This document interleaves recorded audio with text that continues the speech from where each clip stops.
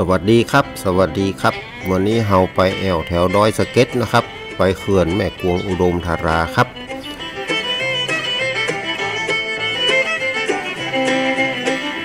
ไปกับโกตีโวโก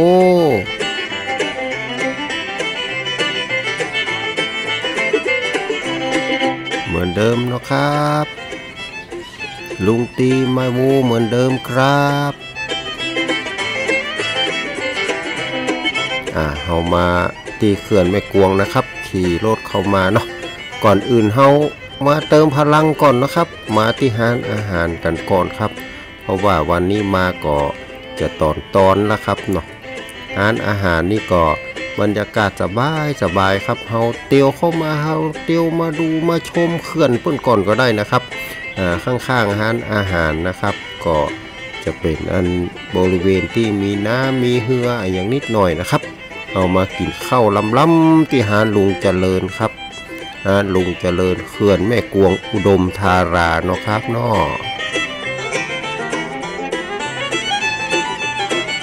เอามาที่ห้านอาหารนี่ก็มาดูาวิวงามๆอากาศดีๆนะครับคือจิตใจเฮาสบายสบายๆนะครับ จิตใจปลอดโปร่ง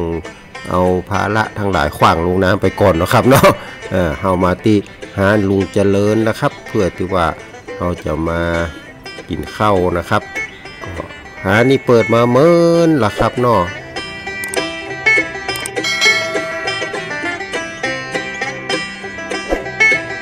ร้านก็เปิดมาเมินแล้วนะครับอ่าที่เขื่อนนี่นะครับอ่าเวลาเฮามาถึงนี่เฮาก็ จะพบว่าบริการของเพื่อนเป็นกันเองนะครับ สบายสบายนะครับ บรรยากาศแบบบ้านๆนะครับเนาะอาจจะไม่ได้หรูหราอย่างนักแต่ก็มันก็เข้ากับบรรยากาศที่ว่าเฮามาเอวเขื่อนเอวอย่างนี้นะครับเนาะถ้าเกิดว่ามันหรูหราแล้วมันอาจจะบ่ใจบรรยากาศแบบนี้ก็ได้ก็หาเนาะเอาก็มีมุมพักผ่อนสบายสบายนะครับ อาหารก็รักบักกี่สิบกี่ร้อยนะครับ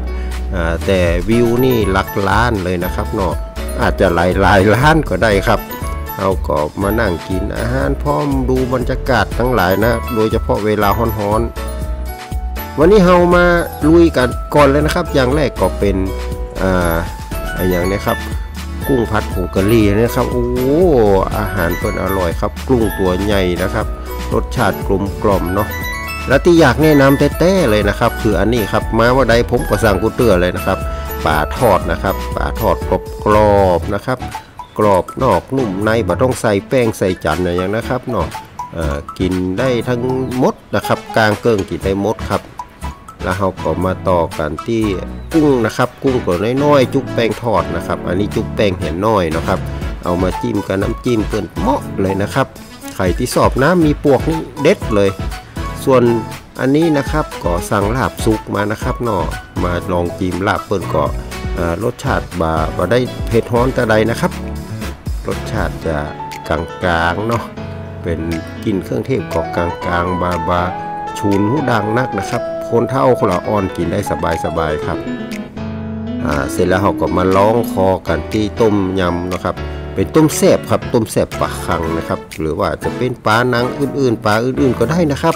ก็อร่อยเหมือนกันนะครับ แต่ว่าปลาคังนี่หนังมันจะเนี่ยครับหนังก็ว่ามันปรุงมันเนี่ยโอ้จะกรอบกรึบๆหน่อยนะครับเนาะก็กินต้มส้มนะครับ ก็ลักษณะว่าจะส้มๆเกมๆนะครับ เกมน้อยๆนะครับ มีส้มนักนำหน่อยนี่ก็จะทำให้คล่องคอกินข้าวล้ำนะครับเนาะเป็นว่ารสชาติเปรี้ยวๆหรือส้มๆนี่มันจะช่วยเติมเฮากินข้าวลำนะครับ มันล่อน้ำลายก็เลย ใส่ตำส้มเนี่ยสักหน่อยนะครับ วันนี้ใส่ตำส้มก็เปรี้ยวๆหวานๆมันๆนะครับตำส้มเปิ้นนี่เปิ้นตำเส้นบอกกล้วยเตดนี่แบบว่านุ่มนะครับแบบนุ่มๆกรอบๆแบบใจว่าเอาเส้นบอกกล้วยเตดไปคลุกไปคลุกมาแข็งแกกดักอันนั้นมันก็ไปเห็มย่างนะครับเนาะอันแต่อันนี้เปิ้นนี่ก็ลำดีครับ จะหันว่ากับข้าวเสี่ยงลึงนะครับ ก็สมความอยากนะครับ บรรยากาศที่กินข้าวอร่อยนะครับ เสร็จแล้วเขาก็เตี้ยวไปนะครับ กินอิ่มแล้วก็เตี้ยวไปดูบรรยากาศต่อนะครับ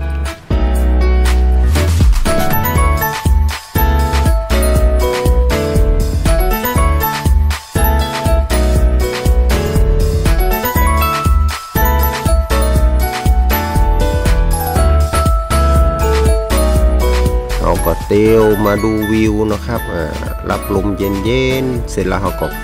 ดูเป้าหมายต่อไปของเราอยู่ตรงหน้าพุ่นนะครับขาวๆสองจุดนะครับ ไปสะพานแขวนเชื่อมใจครับสะพานแขวนเชื่อมใจนี่เราจะต้องข้ามฝั่งไปนะครับ จะต้องอันขี่รถผ่านสันเขื่อนไปครับ แล้วก็ต้องไปอย่างว่านะถนนเพิ่นยังบาตาใดเนาะครับ ก็สันคอนจนต้องไส้นี่กินมานี่ย่อยไปนักเลยนะครับเนาะ แต่ก็ผ่านพ้นไปด้วยดีนะครับ ก็มาถึงงานตรงนี้นะครับ ตรงตีสะพานจอดรถแล้วเขาก็เตี้ยวมากอยนะครับเขาก็จะหันสะพานแขวนของเปิ้นทำด้วยปูนนะครับ เป็นโครงสร้างปูนสีขาวนะครับสองแท่งสี่เหลี่ยมสี่เหลี่ยมนะครับ ก็ดูแข็งแรงดีครับเพื่อนทำเป็นสองลายเนาะมีเผิกซ้ายเผิกขวานะครับเผิกซ้ายไปเผิกขวาเมื่อมาเนาะครับเนาะ ก็เปิดฮือใดถึงโคนถึงรถถีบผ่านไปนะครับรถหนักหนักล่ำไปกับบ่ฮือผ่านนะครับรถสูงล่ำไปกับบ่ฮือผ่านนะครับรถหนักบอกควรจะเกิน 2 ตันนี่นะเพื่อนว่าอันนะครับเนาะการถกระบะนี่ก็ไปเป็นตันแล้วกันเนาะใส่ของสักหน่อยก็ให้จะ 2 ตันรถกระบะก็สามารถจะวิ่งผ่านได้นะครับ สบายสบายเลยนะครับ แต่ก่อนนี่จะข้ามฟากนี่โอ้ มันจัดยากนะครับ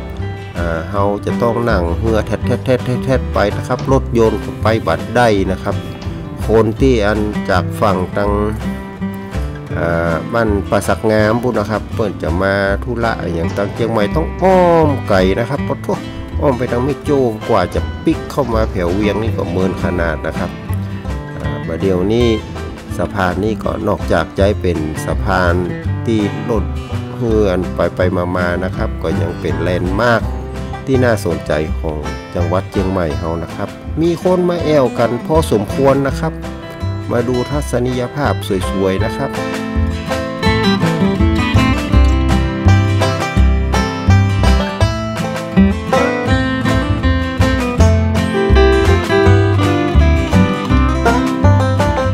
คนเปิ่นก็ป้าลูกป้าล้านมาแอวนะครับ ก็ดีครับ สนับสนุนให้คนเฮาป้าหละอ่อนยังมาแอวดูธรรมชาติดูความสวยงามของธรรมชาตินะครับ ดีกว่าไปแอวห้างเหียอย่างเดียวเนาะมาดูธรรมชาติจะได้รักษาธรรมชาติไว้เหมือนเมินนะครับ คนก็จะได้หักธรรมชาติด้วยนะครับ มาถ่ายรูปงามๆบันทึกไว้นะครับ ไว้ในความทรงจำบ้านแน่นะครับ อาจจะเป็นภาพประวัติศาสตร์อะไรอย่างก็ได้นะครับ วิวก็งามนะครับ มีเสียงลมอ่อนๆ เสียงคลื่นเบาๆ กระทบฝั่งนะครับ มันเซาะได้ยากนะครับในดินแดนแถวนี้นะครับ เพราะบ้านเฮาบ่มีทะเล มีกระภูเขานะครับ มีน้ำมาสักหน่อยก็เท่ามือโคนอย่างบ้านเฮานี่ก็จื่นใจนะครับเนาะตื่นเต้นกันครับ ถ้าเป็นคนตางทะเลนี่เพิ่นก็จะอั้นจะอั้นนะเก่าทุกเนาะน้ำที่นี่นะครับก็ค่อนข้างที่จะเลิกนะครับเนาะจนสีเขียวหุ่มแล้วก็เย็นด้วยนะครับ ถึงแม้ว่าแดดจะฮ้อนนะมีกระแสคลื่นมีน้ำสักหน่อยก็ทำให้เราเย็นใจนะครับ โดยเฉพาะเฮามาแล้วก็ได้ยินเสียงของโคนไข้หัวกันเล่นกันมีห้อยยิ้มนี่นะครับผมว่ามันทำเมื่อเฮามีความสุขมีความเย็นใจขึ้นเห็นนักเลยเนาะครับ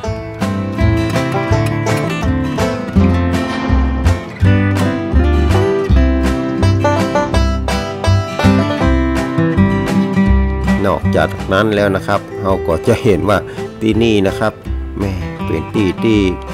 ผู้คนเพิ่นมาตกลงกันเรื่องความฮักกันครับอย่างไรเนาะ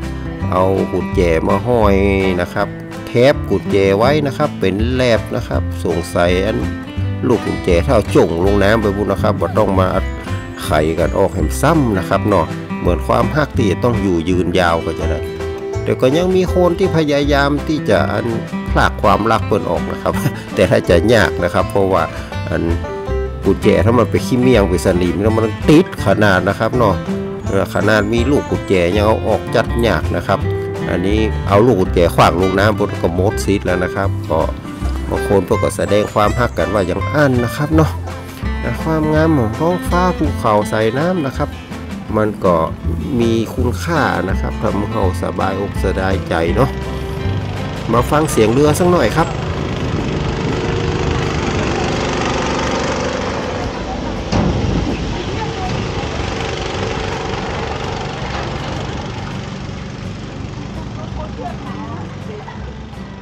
อ่าเฮามาตีน้ำได้ฟังเสียงเหือยมันสบายใจมันม่วนใจนะครับ มันม่วนใจเพราะว่าได้ยินกับเสียงรถยนต์นะครับ มาฟังเสียงเรือในน้ำพองเนาะก็แปลก ทำให้ชีวิตเราแปลกไปนะครับ แปลกจากปกติก็ทำให้มีความกระชุ่มกระชวยตื่นเต้นขึ้นมาว่าอันเถอะคนเฮานะครับรถเครื่องก็เอาผ่านได้นะครับ มาได้สบายสบายจากบ้านเฮานะครับ จากดังดอยสะเกดนี่เราจะไปตังป่าสักงามของง่ายนะครับ จะไปตั้งเมืองเป้าของง่ายนะครับ ถ้าลัดมาตังเพนสะพานนี้ถึงแม้ว่าจะมีสองสองข้างนะครับสองภาคแต่ว่า เพื่อนก็มีสะพานเชื่อมตรงกลางไว้เป็นระยะระยะเราสามารถเตี้ยวข้ามไปข้ามมาได้นะครับแล้วก็เป็นจุดที่ใจเว้นนะครับ เวลามีรถใหญ่มาคนที่เตียวก็สามารถเว้นอยู่ตรงช่องตรงนี้ได้นะครับ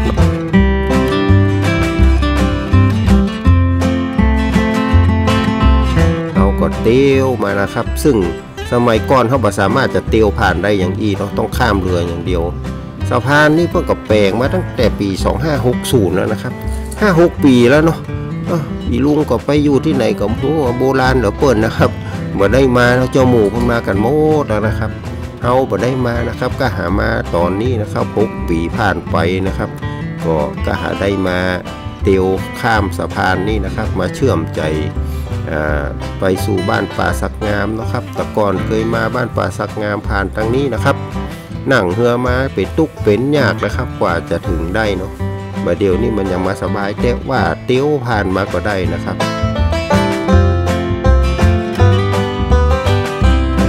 บ้านป่าสักงามบาเดียวบ่ได้ห่างจากเฮาเลยนะครับ ใกล้กันแล้วการจะมา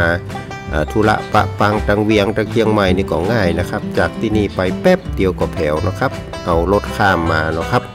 โคนจากตังดอยสะเก็ดจะไปโคนจากเวียงจะไปทางป่าสักงามจะไปเมืองเป้ามาทางเพก็ง่ายนะครับป่วยนะครับเนาะคนก็ยังผ่านไปมานะครับ ยังใจบริการของสะพานป่าสักงามนี่การเป็นปกตินะครับ ผู้คนก็มาแอวมาแหวงกันนะครับเนาะก็มีความสุขกันไปครับ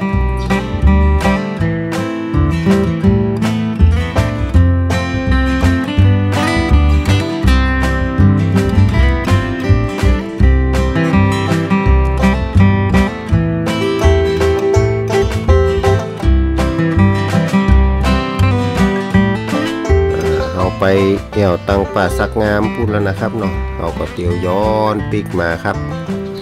ย้อนปิกมาตังอ่าตังดอยสเก็ตนะครับ เดินเมื่อบ่ปิกก็มาได้นะครับโลดมีอยู่เพิกนี้เตียวไปนะครับอ่าก็จำเป็นได้เตียวปิกมานะครับบ่อิดบ่อ่อนอย่างนะครับบ่ไก่ตะใดเตียวใส่สบายสบายนะครับเอาเตียวมาถึงเพิกนี้เขาก็เห็นว่า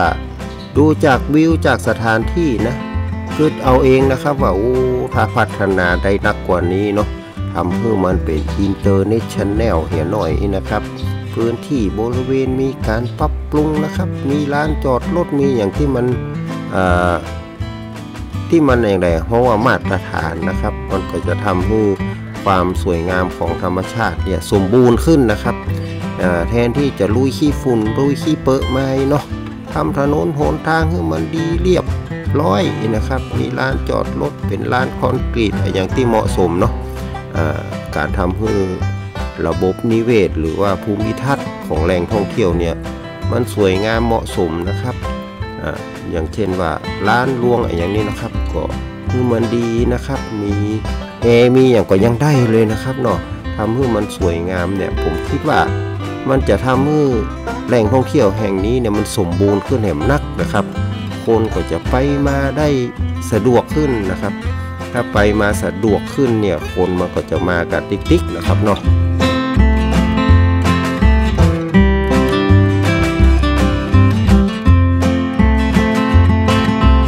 พอคนมาแอวมาแหวงนักๆนะครับ เรื่องการดูแลความสะอาดความปลอดภัย มันก็ต้องทำให้มันเป็นระบบสากลขึ้นนะครับเนาะก็จะทำให้ แหล่งท่องเที่ยวแห่งนี้เนี่ยเป็นจุดจุดหนึ่งนะครับ ที่จะสามารถจะทำเงินทำทองให้จังหวัดได้นะครับเนาะแล้วก็สามารถที่จะทำให้เจ้าบ้านอะอย่างเนี้ยเพื่อนมีรายได้นะครับมีรายได้ไอตัวสะพานเองก็คิดว่าแทนที่จะทำหน้าที่แค่ว่าเป็นตัวเชื่อมใจนะครับคือรถผ่านไปมาได้นิดหน่อยเนี่ยก็สามารถที่จะพัฒนาให้มัน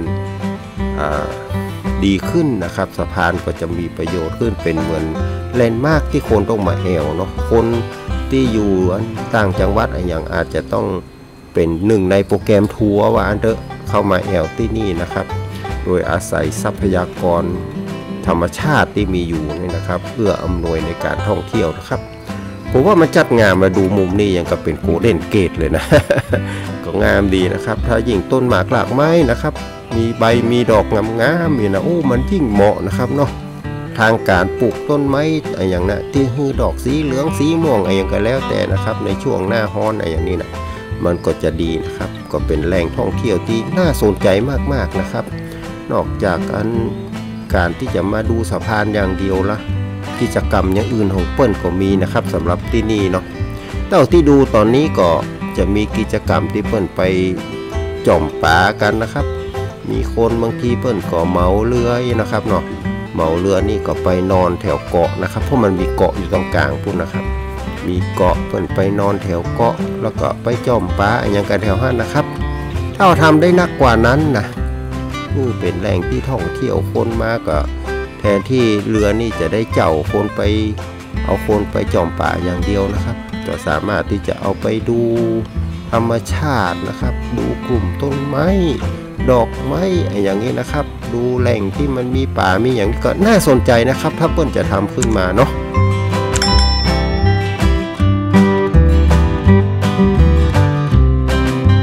รายได้ก็คงจะเพิ่มขึ้นนะครับ การพัฒนาเมืองก็น่าจะดีขึ้นนะครับ ถ้าเราช่วยกันพัฒนาไปให้มันดีนะสะพานนี้ก็นอกจากจะได้เชื่อมใจระหว่างผู้คนแล้วนะครับ ก็ยังจะ เชื่อมใจของธรรมชาตินะครับคือมันได้อุดมขึ้นนะครับแทนที่จะได้มองอิงนะครับมันก็อุดมสมบูรณ์ขึ้นทำให้คนกับธรรมชาติเนี่ยมาหู้จักกันได้มากขึ้นกว่าเดิมนะครับไม่จำเป็นว่าจะต้องมาดูธรรมชาติที่มันจะดิบดิบจนเกินไปนะครับเนาะทำให้มันสุกหน่อยก็ดีนะครับเนาะมาพัฒนาให้แหล่งท่องเที่ยวเนี่ยมันน่าเที่ยวนะ คนมาแอลได้ตลอดเวลาก็จะสามารถสร้างเงินได้ตลอดเวลาเหมือนกันนะครับ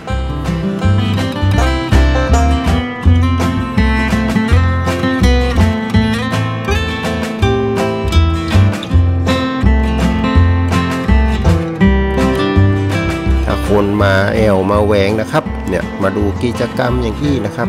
มาได้ตลอดนะครับ มาแล้วก็อยากมาแหมมาซ้ำได้ตลอดอย่างนี้นะครับ ก็เป็นการพัฒนาที่ จะทำให้เสียงของลมหายใจสายลมและเกลียวพื้นที่นี่นะครับ มันต่อเนื่องยาวนาน